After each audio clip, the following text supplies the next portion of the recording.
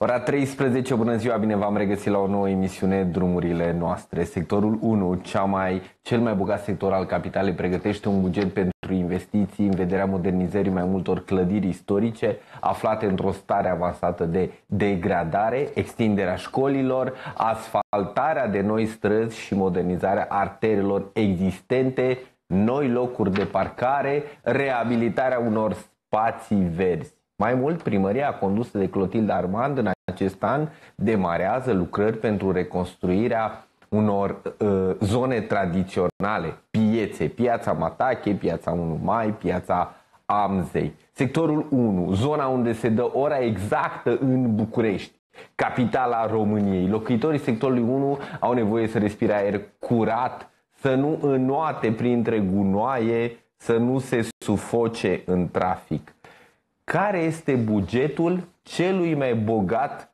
sector din capitală. Astăzi, în prima oară, vorbim despre sectorul 1. Invitații emisiunii de astăzi sunt domnul Dan Podaru, consilier local Primăria 1. Bună ziua! Bună ziua! Și domnul Laurențiu Mușoiu, jurnalist România Liberă. Bună ziua! Bună ziua! Sectorul 1, Dan Podaru câți bani există în buget. Am întrebat, am întrebat primăria sectorului 1, am invitat-o pe doamna primar în emisiunea Drumurile noastre, a refuzat invitația în această emisiune, am transmis o solicitare dânsei legat de tot ce înseamnă buget pentru investiții. Care este bugetul sectorului 1 pentru acest an? Puteți că este un uh, buget aflat în dezbatere publică pe, pe site-ul primăriei și ce se face cu acești, uh, ce se întâmplă cu acești bani? Păi, bugetul estimat este prezentat uh, pe site-ul primăriei și l-ați specificat și la începutul emisiunii. 1,7 miliarde Da, mai mult sau mai puțin. Aproximativ. Jur, da, e o sumă aproximativă. Mai pot apărea mici modificări. Problema nu este neapărat bugetul, domnule Edveș. Și anul trecut primăria și-a propus aceleași obiective mărețe Multe dintre ele, dintre obiectivele astea, sunt lansate pe piață pentru a obține like-uri. Cum? Uh, ele nu sunt niște obiective realiste. Din proiectele pe care pic, trebuia sta, să sta, le implementeze primarul Clotilde Armand în anul trecut, nu a fost realizat niciunul.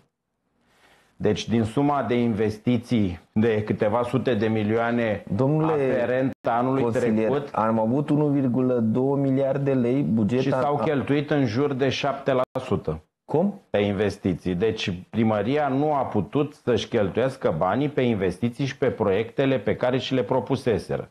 Mai mult decât atât, din punctul de vedere al grupului PNL, niciunul dintre proiectele propuse de vreunul dintre consilierii PNL nu a fost implementat, ceea ce este ilegal. În acest an, consilierii PNL care au mers pe teren, care au înțeles exact care este situația, vor propune în jur de 20 sau mai bine de 20 de amendamente cu privire la modernizarea școlilor, la spitale, la alte elemente de infrastructură, la alte elemente ce țin de domeniul artistic și cultural. Le vom urmări de aproape și vă vom ține la curent lună de lună dacă acestea vor fi implementate sau nu. Dacă aceste proiecte nu vor fi implementate, vom asista la un cel de-al doilea an de sabotaj. Cuvântul este sabotaj. Clotilde Armand sabotează își sabotează partenerii politici, consilierii din Consiliu. Nici proiectele consilierilor uh, PSD, nici proiectele consilierilor PNL nu au fost implementate. În consecință, ceea ce spune doamna Clotilde Armand este doar o declarație de presă generalistă pentru a atrage like-uri în mediul online și pe Facebook. Păi, stați un pic, să citim comunicatul de presă. Corect, nu? Pe 14 ianuarie, Primăria sectorului 1 transmite un comunicat de presă și spune Primăria sectorului a pus în dezbatere proiectul de buget general centralizat pentru anul 2022. Acest proiect de buget are la bază investiții în mai multe clădiri istorice aflate în stare de degradare, școli, asfaltează străzi, apă caldă, căldură cu ajutorul pompelor de căldură și a panourilor foto fotovoltaice în cartele afectate. De asemenea, repară zona piața Matache, piața numai piața a Amzei. Potrivit legii, uh, de la publicarea bugetului de stat în monitor oficial, ordonatorii principali de decrete definitivează proiectul bugetului local și îl publică în presa locală, pe pagina de internet sau îl afișează la sediul unității. Laurențiu Mușoiu, de pe 14 ianuarie, pe site-ul uh, primăriei sectorului avem acest buget, 1,7 miliarde de lei aproximativ. Din acești 1,7 miliarde de lei, conform primăriei, avem cheltuieli de uh, deci avem aceste cheltuieli de 1,7 miliarde de lei și mai avem și mai avem venituri de aproximativ 1,2 miliarde de lei din ce, din ce dau seama. O să verificăm adică aceste, aceste uh, cifre. Te întreb foarte clar ce se întâmplă la primăria sectorului 1, ce se întâmplă cu cetățenii sectorului 1 în contextul în care domnul consilier ne anunță foarte clar că doamna primar și ne spune că doamna primar sabotează Uh, oamenii, cetățenii. Vreau să o rog pe colega mea, uh, Gabi, să o cerce să sune pe doamna Clotilde Armand, să intervină măcar telefonic în emisiunea drumurile noastre. Da, uh, am întrebat ce se întâmplă în sectorul 1. Păi, din câte vedem, nu se întâmplă nimic în sectorul 1. Și asta este grav. Și de luni bune, că de anul trecut, în afară faptului că a fost o perioadă bună în care erau străzile pline de gunoi, după aia că nu se întâmplă nimic. Și asta e problema, că de, de când a venit doamna Clotilde Arman nu se întâmplă nimic în sectorul. Asta, asta este și problema, că nu vedem că se întâmplă ceva. Legat de ce spunea și domnul consilier, eu aș pune o întrebare. Pe ce se întâmplă în, în, în, în Consiliul Local Sectorul 1? Că ai ce majorități, ce majoritate avem acolo? Dacă, deci dânsa nu, nu promovează uh, proiectele PNL, nici PSD. Nu, cu cine, cu cine are majoritatea? Cine are majoritatea în Consiliul Sectorului 1? Adică exact. cine votează? Că, votul Consiliului este cel decisiv. Păi, lucrurile sunt destul de simple, destul de simple. Primarul ar trebui să reprezinte interesele cetățenilor. Și aici, domnule Edveș, vă voi explica un lucru foarte simplu cu reconstrucția clădirilor de patrimoniu. Uh, este doar o declarație de presă. Uh, ne-au fost aduse pe ordinea de zi două proiecte uh, cu așa zise clădiri de patrimoniu. Una dintre ele chiar era clădire de patrimoniu care se află încă în litigiu. Deci, orice clădire ce ar putea fi renovată sau ce ar putea fi preluată de primăria capitalei sau de primăria de sector, trebuie să îndeplinească toate condițiile de legalitate. Este prima condiție și condiția de bază. Regula numărul 1. Nu pot Doi. investi într-o clădire care e în litigiu. 2. Da. Nu se poate investi în, clăd- în nicio clădire care este în nicio formă de litigiu. 2. Trebuie să acea clădire, preluarea și renovarea acelei clădiri, trebuie să aibă să pornească de la ideea utilității publice. Domnule Edveș, și mai mult decât atât de la ideea utilității publice pentru cetățenii sectorului 1, pentru că noi cheltuim și utilizăm bugetul cetățenilor sectorului 1.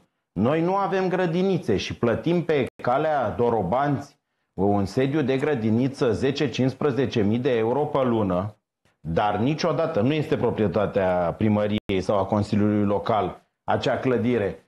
Nici nimeni nu a venit cu propunerea ca acea clădire să fie preluată și în consecință să avem o uh, clădire a noastră, uh, să o renovăm, să o dedicăm acestei tip, acestui tip de activitate, educația copiilor. În schimb au venit alte clădiri care sunt într-o situație deplorabilă, într-un stadiu avansat de degradare și care au grave probleme de legalitate. Adică este un joc mediatic, domnule Edveș. Vă spun lucrul ăsta din interior ca să nu mai păcălim cetățenii. Doamna Clotilde Armand este în acest moment într-o luptă avidă, într-o cursă după like-uri și după uh, audiență pe Facebook. Bun, Cam atât. Deci ne-ați spus asta, asta am, am înțeles și uh, este adevărat, uh, evident că nu poți investi într-o clădire, primarul poate investi într-o clădire care este, are probleme, care este în litigiu. Corect, absolut adevărat. Dar nu mi-a să spun o întrebare. Deci PNL, ok, nu susține aceste proiecte, uh, omul e justificat, acum cu grădinițe, nu știu, de ce n-a propus PNL ca să fie un, cu un proiect ca să fie achiziționat acea grădiniță, acel Poate, pe, acum s-a ajuns la această Fac o paranteză, doamna primar Clotilde Armand nu răspunde nici te- telefonic, nu răspunde nici invitației, nici pe uh, WhatsApp. Cer scuze Anul trecut, uh, domnule uh, Domnule Mușoiu, România. Domnule Mușoiu, Anul trecut, consilierii PNL au avut peste 30 de amendamente sau proiecte, dintre care uh, nici 5% nu au fost implementate. Deci păi asta, asta este, eu vreau... banii au fost bugetați. Da, dar cine votează? Spre exemplu, haideți să vă dau un proiect, proiect uh, concret. Au fost bugetați 15 sau 16 milioane de lei pentru cumpărarea unor terenuri pe care ulterior să se edifice, ori să fie retrocedate terenuri care au fost puse în posesia unor proprietari, eu nu știu dacă e legal sau nu, spații verzi, grădina blocului, e abominabil. Ele trebuiau răscumpărate și oferite cetățenilor. Sau spații care se aflau în anumite zone și care ar fi putut permite, după achiziționare, construirea unor parcări. Proiectele, noi votăm, bugetăm, pentru că noi suntem Parlamentul în primărie, urmând ca aparatul de specialitate și primarul să implementeze. Lucrurile nu au fost implementate, este ilegal, este o formă abuzivă de a conduce primărie. Bun, dar încă o dată, vreau să întreb, deci ce proiecte sunt votate pentru cetățeni? Deci dacă USR propune uh, să înțelegem că PNL și PSD nu votează. Dacă propune PNL, nu votează USR și PSD. Dacă propune PSD... PNL va vota orice tip de proiect legal corect și destinat uh, cetățenilor sectorului 1. Dacă ni se va propune... Dacă îl propune PSD-ul, PNL-ul da, uite, PSD votează? un proiect, uite, să cumpărați da, până, până acum au fost votate, chiar dacă au fost clinciuri sau momente de genul ăsta, au fost PNL a votat inclusiv uh, proiecte USR, Ah. rezonabile Așa. și inclusiv proiecte PSD rezonabile. Adică aici nu a fost, nu există niciun fel de parti pri. Dacă proiectele sunt rezonabile, PNL va vota în sprijinul și susținerea oricărui proiect care ajută cetățenii. Bun, și ce? În a, și să vă răspund și la întrebare, în acest moment Clotilde Arman nu are majoritatea în Consiliul Primăriei sectorului 1 pentru că asta ar însemna să aibă un parteneriat. Ea și-a distrus orice formă de dialog și de parteneriat cu PNL, cu PSD, cu oricine. Trăim într-o teroare a atacurilor mediatice prin Facebook-ul doamnei. Spre exemplu, eu sunt blocat. Toți consilierii mei uh, este ilegal. Noi suntem uh, consilieri aleși. Noi nu putem vedea ce declară sau ce scrie primarul pe pagina de Facebook. Suntem blocați. Ne uh, transmit alți prieteni sau colegi postările doamnei Clotilde Arman, ca să înțelegeți. Da. E de râs, da, ăsta scrii e nivelul. Un domn, scrii un domn din un cetățean al sectorului 1. Ok, dar în contextul în care ne ne-ați explicat că nici 10% din bugetul de anul trecut n-a fost cheltuit, practic, n-a fost consumat pentru, pentru oamenii din sectorul pentru în folosul lor. Chel... Da. Bun, atunci PNL-ul ce face față de aceste lucruri? Opoziția lor a domnule, față domnule de Edveș, Clotilde Armand, domnule care Edveș, este? Domnule Edveș, și eu în nume personal, după ce am sesizat că există grave probleme cu bugetul, am făcut o plângere penală și există un dosar pe rol. Deci asta face PNL-ul. PNL-ul se apără. PNL-ul scrie instituțiilor care uh, pot gestiona sau pot influența deciziile primarului. Ne adresăm colegul meu uh, Dinu Gheorghe, a scris nenumerate petiții și mesaje prefectului punem întrebări și ne... Știți de ce vă da, întrebăm da, acest lucru? N-au nicio șansă Pentru că de cel puțin un an, de cel puțin un an, practic să fim realiști, în spatele vostru primăria. Voi vă certați în primărie nu, de un an noi, de zile. Noi, noi nu ne certăm cu nimeni. Noi încercăm să propunem proiecte care să fie implementate. Clotilde Armand este primarul ales. Da, da, el, voi, el consilierii, voi consilierii nu sunteți puterea, voi, voi nu votați, voi consilierii. Nu clotilde Ceea ce se votează trebuie implementat, urmează pasul 2. Acolo există o gravă problemă de adaptare, de înțelegerea unei realități. Niciunul dintre proiectele votate, deci Consiliul și-a făcut treaba, nu a fost implementat. Dați-mi exemplu de câteva proiecte care nu au fost implementate, votate în Consiliu da. și care nu au fost implementate de executiv, de primărie. Cei 16 milioane de lei prin intermediul cărora trebuiau cum achiziționate spații de interes, da, pe care să se edifice parcare sau care să fie redate Uh, comunități înapoi ca spații verzi, că trebuie să și respirăm. Nu a fost implementat, banii nu au fost utilizați. Am avut un alt proiect uh, care privea o, rampă medicală la dispensarul uh, Grigore Alexandrescu aflat pe calea Dorobanți. Nu s-a întâmplat nimic, nu a fost... o rampă? Adică... Nu, s-a, nu, nu s-a făcut un, niciun fel de studiu acei oameni nu au fost... Deci, noi votăm acești bani. Doamna directoare de acolo ne-a cerut, ne-a rugat să implementăm această rampă de acces pentru persoanele cu dizabilități. Nu s-a putut găsi o rampă? Nu s-a putut găsi o rampă, domnule Moșoiu. Nu s-a putut găsi o rampă. Deci v-am dat proiecte concrete. Am venit cu o propunere a organizării unei expoziții cu doi maestri, doi sculptori, Ioan Nemțoi și Ion Mândrescu, da? Bun. Nu s-a putut implementa acest proiect cultural care fusese bugetat, nu s-a, deci niciunul dintre proiecte nu a fost dus la bun sfârșit. Ok, și la administrația spitalului, cine e director la, la Uh, mai mult decât atât, domnul uh, director al spitalului Grigore Alexandrescu a avut rugămintea uh, de a achiziționa două pompe care să-i deservească niște puțuri de mare adâncime din spital Uh, care, din care se extrage apă pură și deservește interesul și utilitatea uh, spitalului, au fost bugetate, nu au fost cumpărate. Bun, la... Deci niciun proiect. A fost e... chemat directorul uh, direcției respective, care trebuie să se ocupe de acest proiect. A fost chemat, interpretat în este. Consiliu? Pe, sunt interpelați, sunt chemați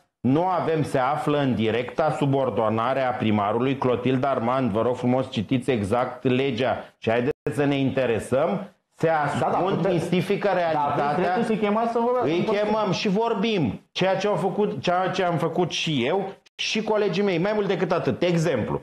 A fost școala, școala 178, din câte mi-aduc aminte, sau 179. A trebuit cumpărat un teren, a fost achiziționat, a, au fost respectate toate procedurile, proprietarii au fost chemați, a fost organizată o uh, discuție, o comisie de licitații de, cu acele persoane, s-a negociat, după șapte luni de zile, terenul nu, se vor cumpăra, se semnaseră toate acte, respectându-se toate procedurile, discutând cu directoarea economică. După șapte luni, nu, primarul Clotilde Armand nu mersese, sau după șase luni nu mersese să semneze contractul și nu le virase oamenilor banii. Este un marazm. O, se întâmplă lucruri halucinante primăria sectorului 1. V-am dat exemple concrete. Buget de 1,7 miliarde de lei pentru sectorul 1, cea mai bogată primărie din țară. Revenim după pauză, detaliem acești bani, unde merg.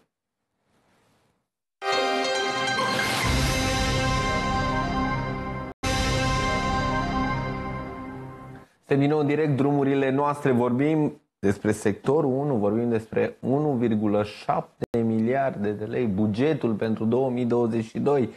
Domnul consilier Dan Podaru, consilierul uh, local al sectorului 1, Laurențiu Mușor, jurnalist România Liberă.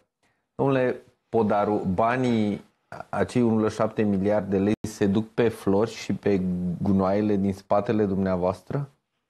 Pe, o parte, pe ce se duc banii? Pe o parte Uh, sunt utilizați pentru costurile salariilor angajaților, pentru alte utilități, plata unor utilități și o parte ar trebui, bineînțeles, și pentru salubritate sau pentru uh, bugetul. Uh, Am primit uh, prin niște fotografii da. cu florile din sectorul 1. Uh, asta e o seră la ADP, am primit și noi aceste imagini, sunt uh, dezolante, este tragic ce se întâmplă. Am înțeles din informațiile persoanelor de la ADP că în septembrie ele erau vii și arătau frumos, urmând să fie uh, plantate în primăvară și primarul Clotilde Armand a cerut să fie închisă căldura. Plantele au degerat și s-au, uh, s-au ofilit, este un dezastru ecologic în definitiv și la urma urmei și pierderi de milioane de lei. Întrebarea este cine va răspunde peste pentru aceste pierderi de milioane de lei. întrebat-o pe doamna Era primar? căldura de la Radeț sau? Căldura era de la Radeț? Nu, sau- nu știu, nu știu. Este o informație nouă care ne-a parvenit de la ADP. Angajații de la ADP ne sunt disperați și ne transmit informații referitoare la situația diz- dezastruoasă a inventarului din uh, serele Zeci ADP. de mii de plante au fost. uh, 60 de mii, am înțeles din informațiile pe care le-am primit. 60 de mii de plante stricate, aruncate, vor fi cumpărate de pe piața liberă și se va plăti dublu. Deci cheltuim bani, omorâm plante, pierdem milioane de lei. Este o situație tragică și primarul uh, sectorului 1 stă doar pe Facebook uh, și este avid să primească like-uri. Este într-o campanie politică permanentă, într-o campanie de imagine permanentă, iar dorințele și nevoile, necesitățile cetățenilor sectorului 1 sunt lăsate pe un plan al doilea sau chiar al treilea. Din păcate, este tragic ce se întâmplă. Locuitorii sectorului 1, oamenii care v-au votat pe dumneavoastră și pe doamna primar Clotilde Armand. În acel moment, în campanie, a fost o echipă, să spun așa, ați făcut echipă cu dânsa în uh, momentul campaniei electorale. Sunt mulțumiți de ce se întâmplă acum în primărie? Vă dați seama că nimeni nu poate fi mulțumit în momentul în care are niște așteptări și, prime, și nu primește nimic.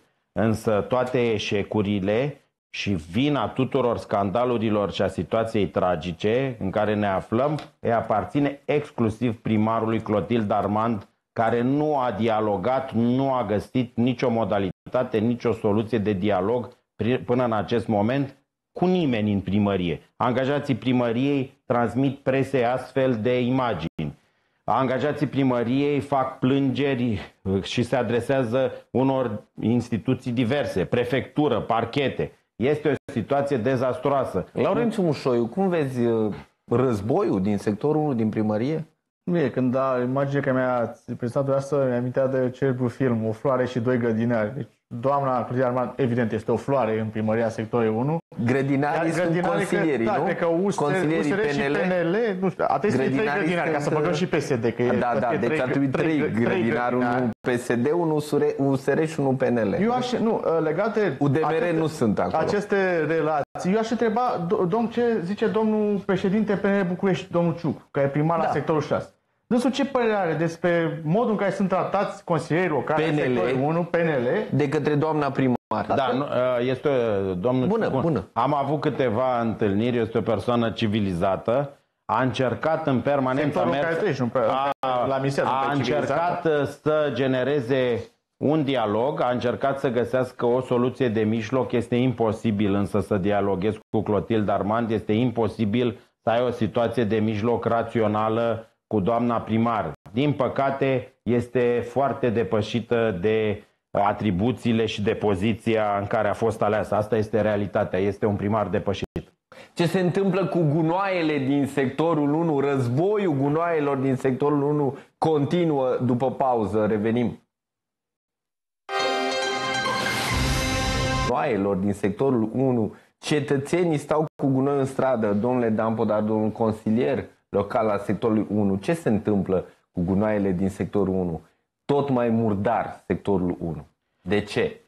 Păi uh, a existat un moment în care a, a fost un reveniment, uh, s-au mai reglat lucrurile, gunoaiele au fost uh, ridicate, însă situația nu, nu, nu mai știu exact uh, ce se întâmplă. Uh, Primarul uh, a realizat un uh, protocol cu firma de salubritate, un protocol despre care noi am aflat ulterior semnării acestui protocol. Situație care este, din punctul meu de vedere, ilegală. Primarul nu protocol, poate nu exista semna contract? protocoale. Păi contractul trebuie respectat, anexele la contract trebuie respectate. E foarte simplu, sănătatea cetățenilor înainte de orice. Clotilde Armand a realizat o reducere a costurilor prin reducerea prestațiilor. Bun. Deci trăim într-o mizerie mai mare ca să facem economii, să murim, să ne îmbolnăvim mai repede, domnule Edveș. Ok, ați spus sănătatea cetățenilor înainte de toate.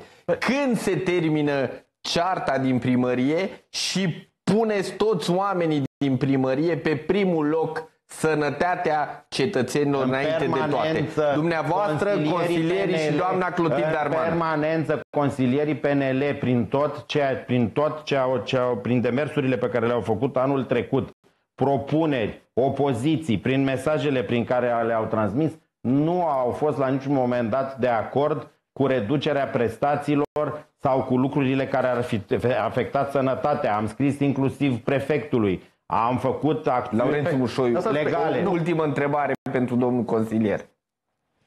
Păi, Dați mă lasă, eu am rămas un pic șocat uh, de chestia că doamna Clotilde Armand țipa că uh, Rompress nu-și face datorie. Acum dânsa a făcut protocol cu ei ca să ei nu-și mai facă datorie? Deci acum practic e ok, pentru că da. protocolul Deci uh... pentru a capitaliza uh, procentele de imagine, pentru ca pub, propriul ei public să fie mulțumit, a redus, a redus sumele de bani într-o manieră, printr-un tertip, de fapt prin reducerea prestațiilor. Nu a redus nimic. Clotilde Armand nu a reușit să renegocieze și să reducă prestațiile. Sunt Dacă șanse întrebat... până la finalul mandatului să vă înțelegeți cu doamna primar? Cu acest, acest primar care are acest tip de comportament abuziv, nu, în niciun caz. Mulțumesc pentru prezență, Dan Podaru, Laurențiu Mușoi, ne vedem de la fix, vorbim despre piața imobiliară din 2022, ne vedem de la fix.